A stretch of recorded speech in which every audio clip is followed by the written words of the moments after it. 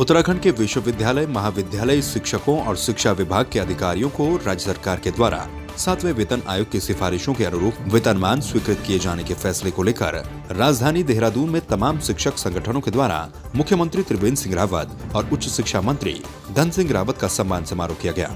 मुख्यमंत्री त्रिवेंद्र सिंह रावत ने उच्च शिक्षा को लेकर चिंता जताते हुए कहा कि प्रदेश में उच्च शिक्षा की गुणवत्ता बढ़ाना बहुत ज़रूरी है। सीएम त्रिवेंद्र सिंह रावत ने कहा कि सम्मान समारोह में तमाम बुद्धिजीवी वर्ग मौजूद रहा, जिसको लेकर उन्होंने सभी शिक्षकों से इस बात का आह्वान किया। वहीं उच्च शिक्षा मंत्री धन सिंह रावत ने सभी शिक्षकों का धन्यवाद करते हुए कहा कि लंबे समय से शिक्षकों की ये मांग थी, जिसे पूरा किया गया।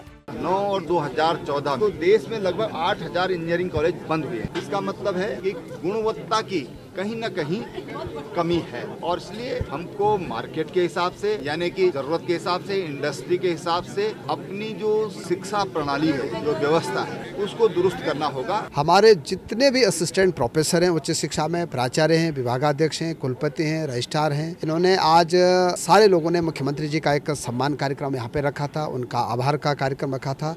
और मुझे बड़ी खुशी है कि मुख्यमंत्री जी ने पर्याप्त तो समय उच्च शिक्षा विभाग को आज दिया है। उन्होंने कुछ विश्वविद्यालयों के लिए कुछ अपेक्षाएँ भी की हैं। साथ ही हमने इस साल से पाँच ऐसी विभूतियों को डिलीट की उपाधि दी जाएगी जिन्होंने समाज में बहुत अच्छा कोई काम किया संवाद थ्री के लिए देहरादून से कैमरामैन दिनेश कुमार के साथ संध्या सेमवाल की रिपोर्ट।